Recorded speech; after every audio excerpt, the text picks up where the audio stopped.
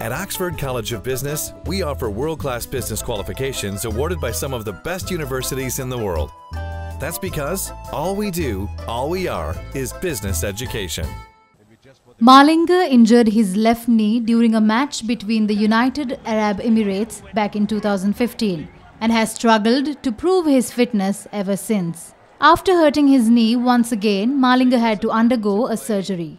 He has fully recovered to take part in the T20 tournament in Australia, starting from 17th of this month. The T20 squad was named by Sri Lanka Cricket today.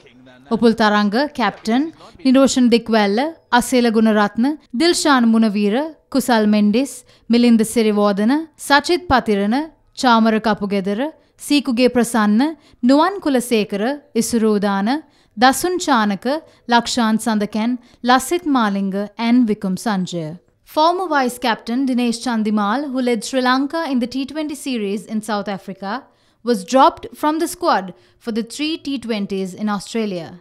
Malinga is fit to play. We have decided to declare his availability for the T20 to be commenced next week uh, in Australia. Time and time again, he was trying to get back since there is high performance manager. We have put him under total uh, care. High performance manager has cleared him totally fit to play. Even though we would like to have him come back to the 50 over game eventually. So happy to see that Malinga is back in action, available to play for the country.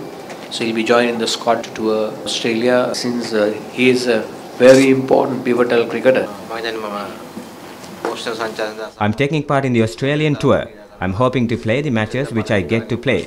We will have our first practice match on the 15th. So I think that if I display a good performance in that match, I will be able to be inside the team for the next three matches. My first aim is to play the practice matches and to find out whether I'm still between my talents. So it will be easy for the selection committee and for the captain to take a decision on choosing me for the 11 players.